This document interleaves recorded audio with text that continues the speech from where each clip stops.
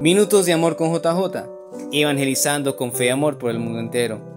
Gracias, mi amado Dios, por permitirme despertar, abrir mis ojos, las puertas de mi casa, para que tu gracia entre en mi hogar. Gracias por la vida de mi familia.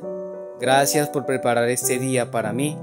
Te pido de todo corazón en este día y te entrego mis problemas, dificultades, ya que sé que contigo puedo superar todo obstáculo que se me presente en este día y que no me permita anunciarte como corresponde. Que en este día tu gracia guíe mis obras y mis pasos. Gloria al Padre y al Hijo y al Espíritu Santo, como era en el principio, ahora y siempre, por los siglos de los siglos. Amén. Dios te bendiga y la misericordia de Dios cuide en tus pasos en este día.